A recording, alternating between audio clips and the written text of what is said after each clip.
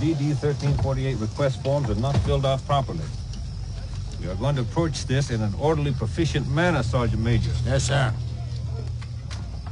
I want you to be sure that each round of ammo is counted and returned in the same way it was received. I'll personally dot the I's and cross the T's. Sloppiness breeds inefficiency. Your outfit could use some cleaning up and gunning. Sir, I wanted to issue my uh, squad leader some night vision glasses. Darn, I should have thought of that. That is not part of your T-O and E. Well, I just thought it might be the thing. Fill out the proper request forms and send it through the chain of command. Request forms. Attention. At ease, men. Major Malcolm Powers, sir. Annapolis, class of 71. How are your men doing, Major? My men are ready to fight to the death to protect our country, sir. Well, let's hope that won't be necessary. Have we ever served together? I don't know, sir.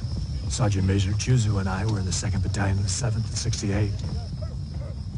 I had a rifle company, 1st Battalion, 7th. Well, we sure as hell chewed some of the same dirt, sir. That's for sure.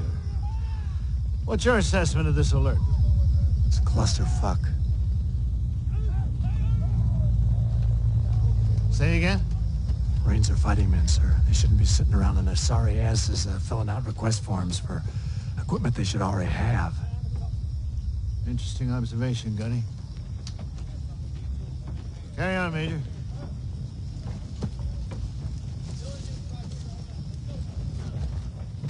Now hear this. Now hear this. This is it. We're going to war. This has been an emergency deployment readiness exercise. We are standing down. The alert is canceled. Damn it. Maybe next time, sir.